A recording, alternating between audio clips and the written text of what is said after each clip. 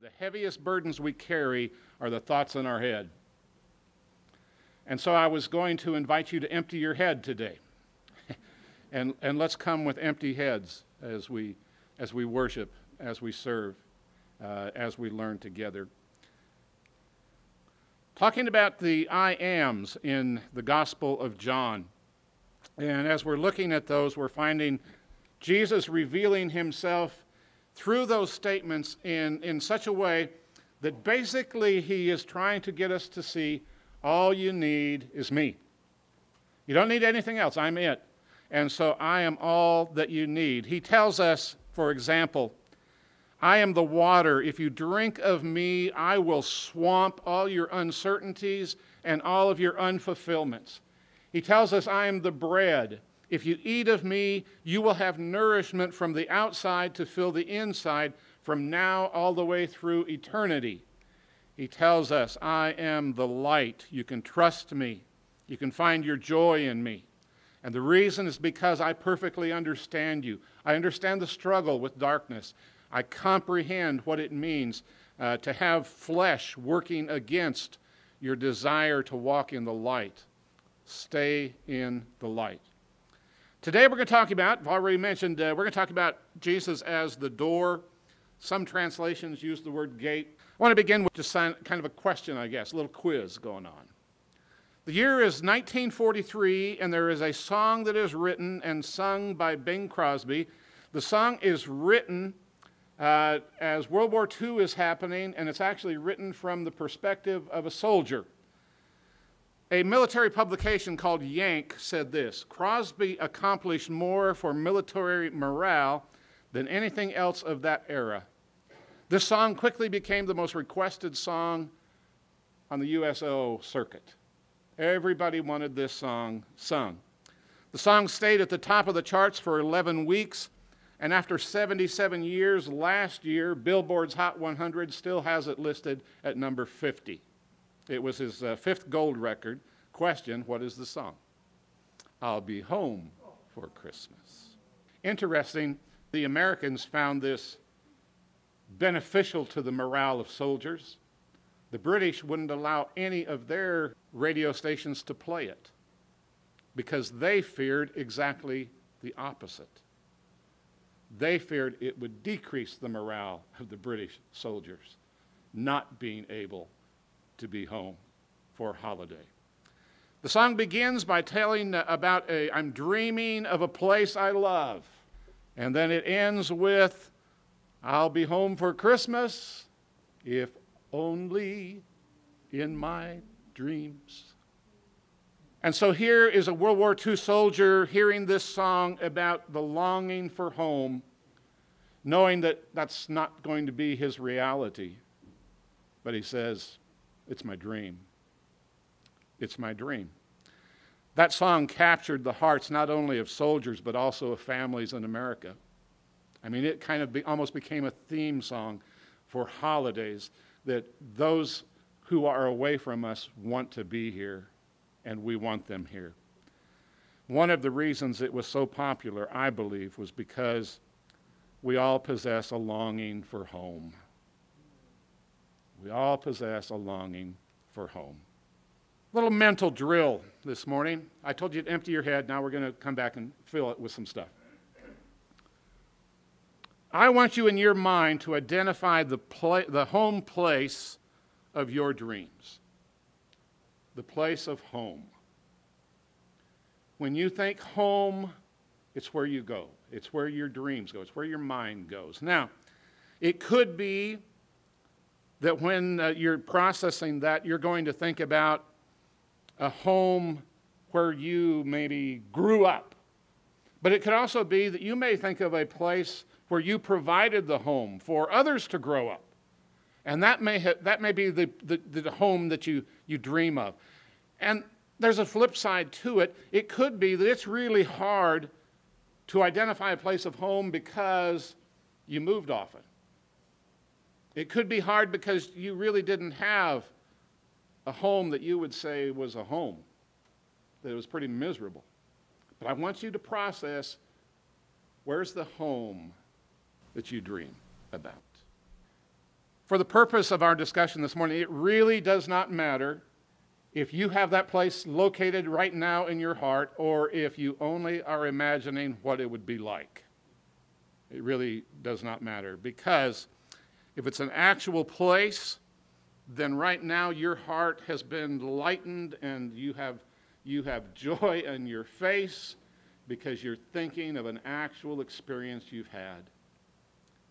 And if you cannot identify home, I've pointed out to you again what you long for, what you would like to have had, what you wish would have been present. I believe when Jesus said, I am the door, he was saying, I am the place where you go home. I'm going to illustrate with a few actual doors of my history, which are one of my home places. I think I have a, several home places. But, uh, but I, you've heard me talk before, so uh, if you've heard it before, just, well, your mind's emptied already, so you got to put it back in there. Fedora, South Dakota. So you see the door? That's where this is coming from. Fedora. Okay. There it is. Google's pictures have really become higher quality from their satellites now. So uh, that is Fedora, South Dakota. I've said before, population 75. That's counting everything that breathes. That is it from north to south and east to west.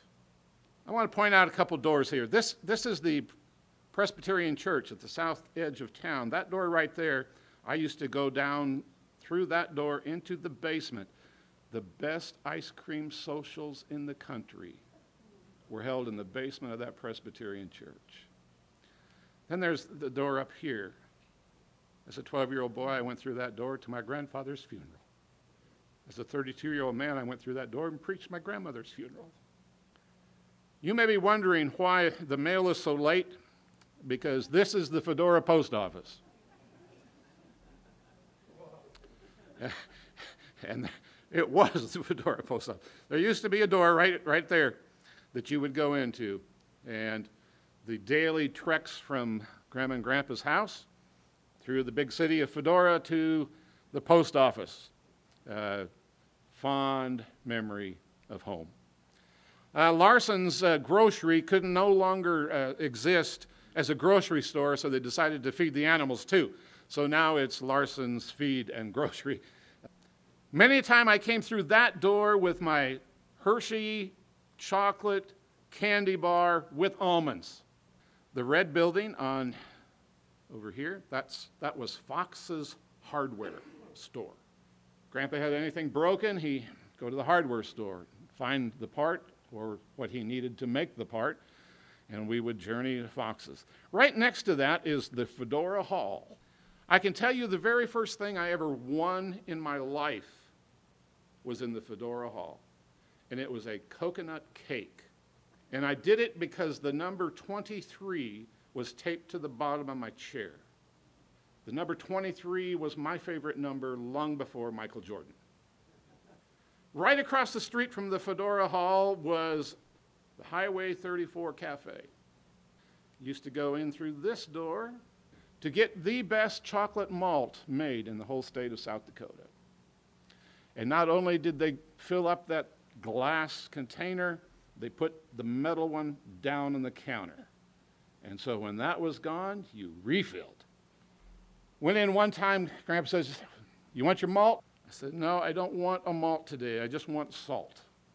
And at that, I reached into my pocket and pulled out the Bermuda onion I had pulled from his garden. And I said, All I need is a little salt for my onion.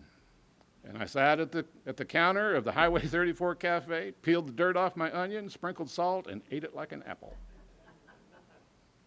Okay, now we've crossed the highway. We're on the north side of Fedora. We're almost through town, actually. This was Grandma and Grandpa's house. Been some changes, obviously, since my day. This is the door right here that they have now uh, built a, a porch around. It used to just be an open porch. It had one of those wooden screen doors. They had a creaking noise that the hinges always made. It was always the same noise. You'd open that door and you'd hear the eh, and then there was the tension on the spring that was tacked at the top of the door, and you heard that spring stretch itself out. And then as you went through the door, there'd be this little clunk behind. It would come shut with a certain noise. and you always had the same noise. Now, when the excited little boy was running outside, there was a different noise because you didn't just push the door wide enough to get out, you hit the door. And so the hinges made a different sound. It's a different speed. So they made a different sound. The spring made a different sound. And when it came closed, it was a different sound. So there's, there, there's a door. It's got some fond memories. Right through that door was the kitchen, and oh, the smells that came out of that kitchen. This was the chicken coop. I put on a leather glove to go get the eggs one day. Was terrified about those chickens pecking my fingers. This is the front door, and the only reason I, I, I show you that is because I don't remember ever using that door. Okay, this, uh, this, this building right here, this, this was Grandpa's shed. And it has a door facing the house. And when you went through that door, you smelled gasoline. Everything he cleaned was with gasoline. And so that's how that, that whole shop smelled like gasoline. There was a lean to on the back part of that where uh, he kept every item he might need for later. Then there's this, this garage over here, which was the chicken coop. It also had a space where we brought Fosse in to get milked. But then there was this little sliding door, and many a time I was let out of the 54 Chevrolet to grab that sliding door and open it up so Grandpa could drive it in. Doors. Those doors are home. I can't think of those doors without just going, oh man, such a great time. You've got places like that in your life. Jesus said, I'm the door home. I'm that place you dream of. I'm that place you long for. When Jesus speaks about being the door, I think he's telling us that he is the door that connects us to our deepest yearnings for home. As such, I think there are a number of things that you and I remember from our home place that Jesus says, This is what my home place is going to be like. It's going to be a place of unconditional love. You're not loved because of what you do, you're loved because of who you are. And Jesus said, I am the door that'll bring you to this home place where it's not about your performance. In actuality, I have accepted you because of your lack of, um, of performance. I am bringing you into this home because you're trusting me. It's a place of flawless fathering. Oh, to have been a flawless father. Oh, to have been that. Guess what Jesus offers us? A flawless. So, any, anything my dad, your dad, your physical dad did that you now find fault with, guess what? Jesus is flawless. How about a completely expert mother? Oh, we have great moms. But Jesus says, I'm, I'm a perfect, perfect mother. You know, and that's why throughout Scripture there are names for God that are male and female. Because he's a flawless father, he's also an expert mother. I hunted for a word here. Instead of civil rivalry, rivalry imagine benevolent siblings. Jesus says, Come in through this door. This is the home I offer. I offer you safety and security. I offer you permanence. I give you roots. I give you comfort. Jesus says, I am the door. These are the things I make available. Jesus is the door to our forever home. He is the door to our forever home. Now we're going to get to John. Let me give just a little background to the text we're going to look at. In John chapter 9, Jesus and his disciples encounter a blind man, and the disciples go with the, the thinking of the day, and they say, Who sinned, this man or his parents, that he was born blind? Jesus lets them know that neither of them sinned, but this whole thing is for the glory of God. This whole incident is for the glory of God. And that's key to keep that in mind for when we get to the text we're going to discuss. This is all about the glory of God. So this blind man gets healed by Jesus. He spits in the mud, puts it in the man's eyes, tells him to go wash in the pool of Siloam, and the blind man sees. The Pharisees go ballistic. So they call him in, they're interrogating this guy. This guy's getting the third degree. Who did this? Why did this get done to you? And he doesn't answer them well enough, and so they say, well, let's call for his parents. And so they call for the parents, and the parents are brought in. And the parents say, We don't know what's going on. All we know is our son was blind and now he sees. Get out of here. They call the guy back in. He says, I don't know who did this. But if it wasn't from God, he wouldn't be able to do anything. And the Pharisees kick him out. Kick him out. And here's this, here's the door Jesus. Jesus recognizes that this man's been thrown out. And so Jesus comes to him and he says, Do you believe in the Son of Man? And the man says, Who is he? And Jesus says, The one who's speaking to you. And he says, I believe. And the Bible says he worshiped him. He worshiped him. Jesus says, I came, and those who do not see will see, and those who do see will become blind. Glory of God's the whole purpose of this thing. And then we get to this. If you were blind, you wouldn't have sin. But now that you say we see, your sin remains. Jesus just called them blind. And the blind man now sees, and the spiritual leaders are blind. And that all sets the stage. Jesus is now going to give two illustrations to prove to prove the glory of God and what it means to not be blind. I assure you, anyone who doesn't enter the sheep pen by the door, but climbs in some other way, is a thief and a robber. The one who enters by the door is the shepherd of the sheep. The doorkeeper opens it for him, and the sheep hear his voice. He calls his own sheep by name and leads them out. When he has brought all his own outside, he goes ahead of them. The sheep follow him because they recognize his voice. They will never follow a stranger. Instead, they will run away from him because they don't recognize the voice of strangers. Jesus gave them this illustration, but they did not understand what he was telling them. So, Jesus said again, I assure you, I am the door of the sheep. All who came before me are thieves and robbers, but the sheep did not listen to them. I am the door. If anyone enters by me, he will be saved and will come in and go out and find pasture. A thief comes only to steal and to kill and to destroy. I have come that they may have life and have it in abundance. The first illustration Jesus uses what at that time was a common communal sheep pen illustration.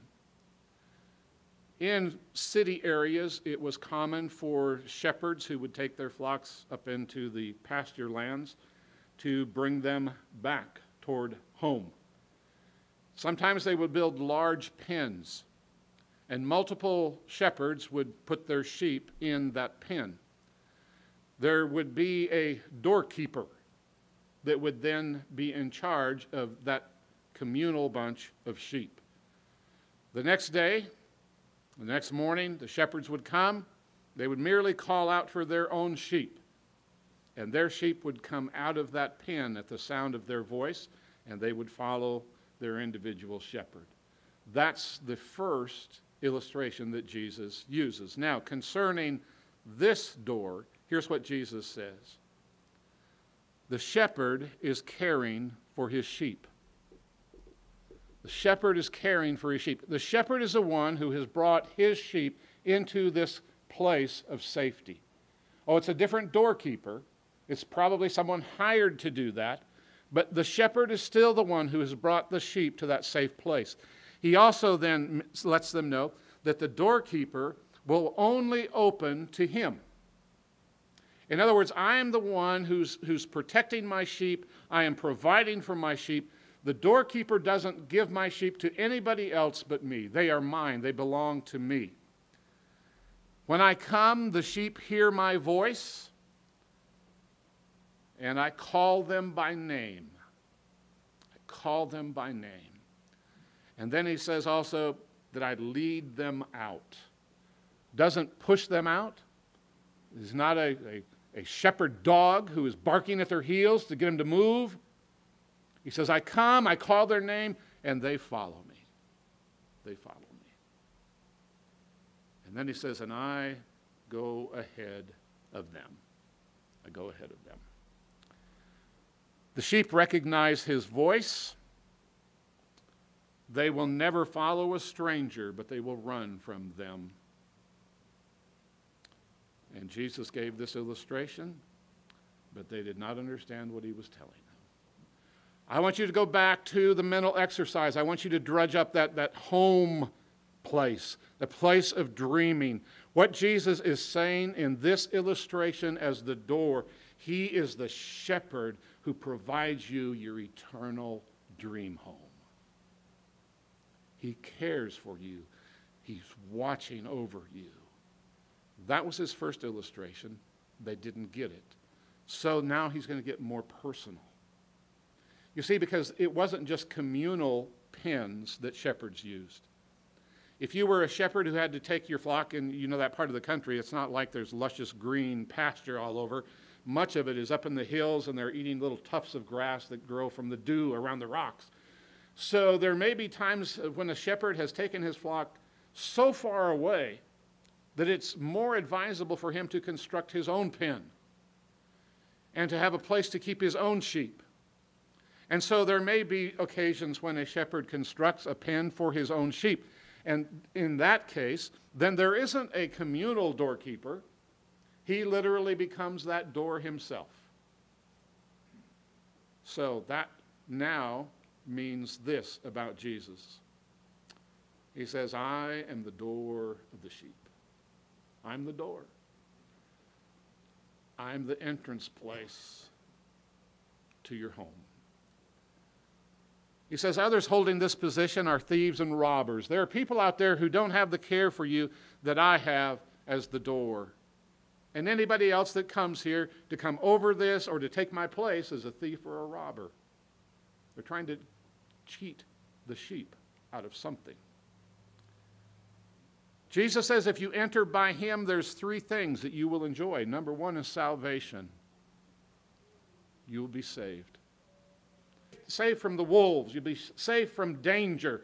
You'll be safe from disease. You'll be safe from all of that because I am the door. I'm the door. But he also says not only are you going to get salvation, you have freedom to come and go. Freedom belongs to the sheep of Jesus' pen. Jesus isn't our, he isn't constraining us, he is giving us freedom. And Paul talks so powerfully about that freedom in the book of Galatians.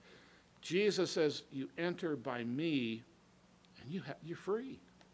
You're free. And he even says, there's nutritious pasture, and you can, you can come and go. And, and there's going to be always something to feed you. That's what Jesus, as the door, says he's going to do. And then he compares it again. Everyone else trying to provide home for the sheep is guilty of stealing, killing, and destroying because they serve only their self interest. Anybody else tries to fill this position, they're only interested in themselves. And so they're neglecting the sheep, they're stealing the sheep, they're killing the sheep. As the door, Jesus gives life. But it isn't just life. Translations vary. Give it abundantly, give it to the full, exceeding. It's the same word that appears in Ephesians when Paul says that God can do exceedingly abundantly beyond all that we ask or think through the power that works within us exceeding. It has to do with excess. It has to do with having too much. It has to do with, with the measure being more than it needs to be. Jesus says, I am the door to the sheep, and the reason I'm the door is so that I can give them exceeding life. Life without number, life without measure. Jesus as the door. As the door, Jesus is the only.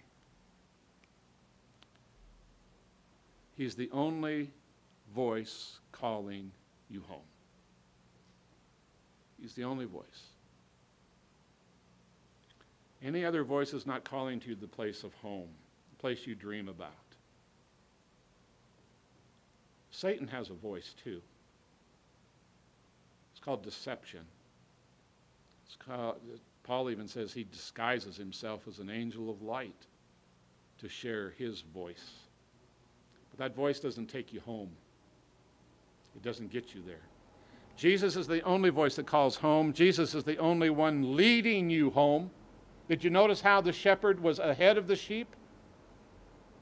I go to prepare, what was it we looked at the other Wednesday? Betty Joe, I go to prepare a place for you so that where I am, you may be also. Jesus is the door into your forever home. To being able to live with those feelings of home, Jesus is the door that gets you there. He's the giver of all freedom, He is the supplier of all pasture, and He is the provider of super abundance. Jesus as the door.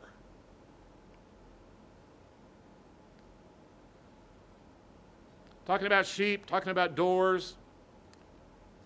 I just have some passages that just kind of express further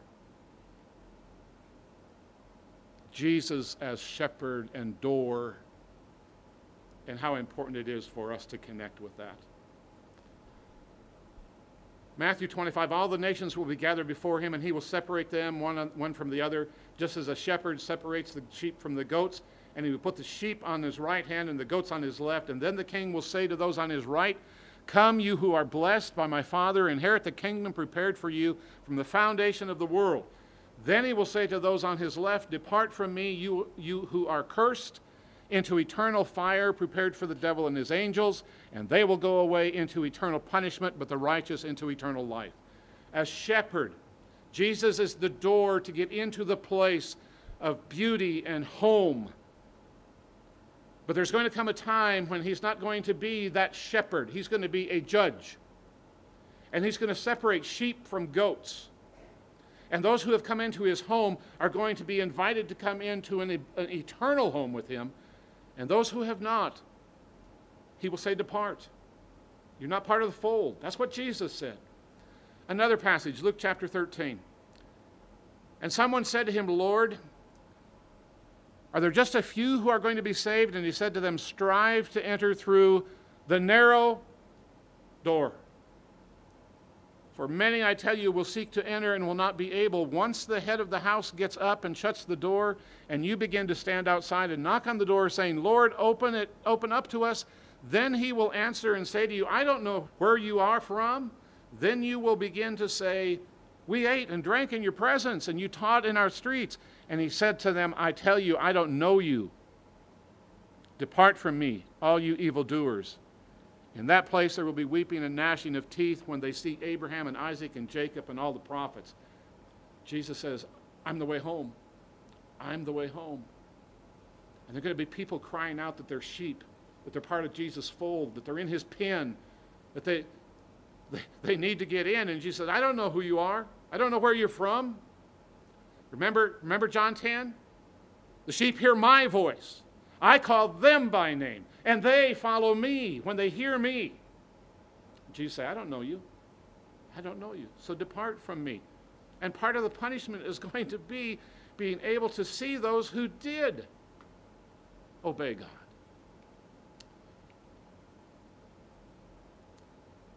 And then, of course, in the book of Revelation, Jesus said, I stand at the door and I knock. And anyone who hears my voice and opens the door, I will come into him and have dinner with him, and he with me. The victor, I will give him the right to sit with me on my throne, just as I also won the victory and sat down at my Father's throne. Anyone who has an ear should listen to what the Spirit says to the churches. Jesus is the door. And the mental imagery is Jesus stands at the door of your house and he knocks and he says, You need to open to me the door. And if you do that, I will come in and we will be one together. You will be my sheep and I will be your shepherd. I will be your forever home. I'll be the place you imagine, you dream of when you think of what home is going to be. I am the door. Are you walking through that door today? Is Jesus your eternal home? And if he is, and it makes Fedora look like Podunk City to have God fixing me an eternal home. And oh, what a place that'll be. If you're prepared for that place, then rejoice in that today. And if you're not prepared, what do you need to do to get that way? If you've never become a child of God, allow your belief to move you to the point of repentance and confession of Jesus to die to yourself in baptism and bury the old man to be raised to walk in newness of life, to be faithful then to him, to walk with him as a shepherd, to live in his pen as long as we have life. And if we do that, we will be at home with him for eternity. But it is possible for us to have begun that journey and then to have departed that to step out of that, to come back to listening to robbers, to falsehood, to deceivers who are calling us to believe things that the shepherd, the door, the gate doesn't want us to believe.